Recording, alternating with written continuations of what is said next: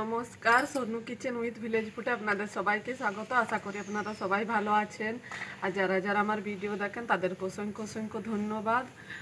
আর আজকে আমি একটি রেসিপি নিয়ে হাজির হয়ে গেছি। তো চলুন, তার জন্য কী কী লাগছে দেখিয়ে দিচ্ছি। এই দেখুন বন্ধুরা লিট্টি বানানোর জন্য, এখানে পুরটা বানানোর জন্য, এখানে ছাতু, কাগজি, রসুন আর আদা নিয়ে নেওয়া হয়েছে।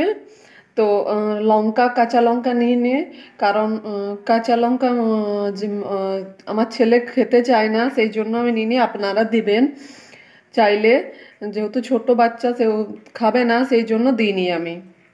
আর এইদিকে আছে আটা, আর এখানে সরষের তেল আছে, আর এখানে আলু আর টমেটো আছে, এগুলো চোখা বানাবার জন্য। এই দেখুন বন্ধুরা, নুন দেওয়া হচ্ছে। কাগজির রস দিয়ে দেওয়া হচ্ছে। একটা কাগজি নিয়েছি। এই দেখুন বন্ধুরা, এখন আদা, রসুনটা আর লেবুর রসটা মিশিয়ে নেওয়া হবে ছাতুর মধ্যে একসঙ্গে। এখন সর্ষের তেল দেওয়া হচ্ছে এটার মধ্যে, ছাতুটার মধ্যে। এই দেখুন, এটা পুরটা তৈরি হয়ে গেছে। এই দেখুন, আটাটার মধ্যে অল্প তেল দিয়ে দেওয়া হয়েছে, ময়ন, আর অল্প নুন দিয়ে দেওয়া হয়েছে। এখন জল দিয়ে মেখে নেওয়া হচ্ছে এটা। ডো বানিয়ে নেওয়া হবে। এই দেখুন ডোটা বানানো হয়ে গেছে। এইরকম ছোট দেখুন মেঝারি সাইজের লিচি কাটা হয়ে গেছে এগুলো। এই দেখুন এখন এর মধ্যে ছাতুর পুরটা ভরা হবে। হ্যাঁ।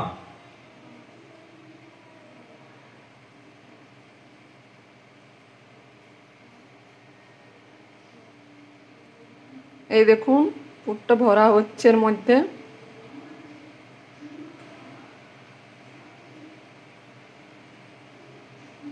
এখন এটা মুড়িয়ে নেওয়া হবে।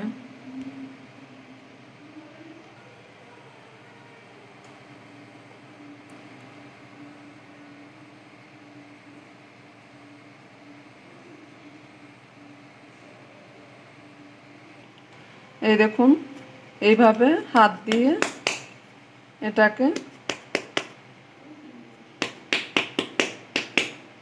চেপটে নেওয়া হলো। এটা হয়ে গেছে এবার। এই দেখুন, এইভাবে সবগুলো বানানো হয়ে গেছে। এই দেখুন বন্ধুরা, তেল গরম হয়ে গেছে, এগুলো এখন ছেড়ে দেওয়া হবে।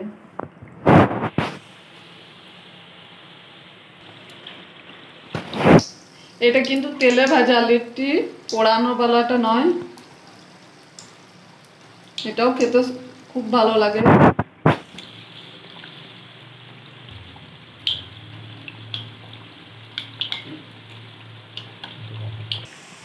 এই দেখুন, এটা হয়ে গেছে। এখন এটা উঠিয়ে রেখে দেবো, এইভাবে সবগুলো ভেজে নেব।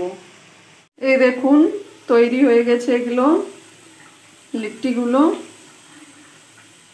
কত সুন্দর হয়েছে দেখুন এগুলো।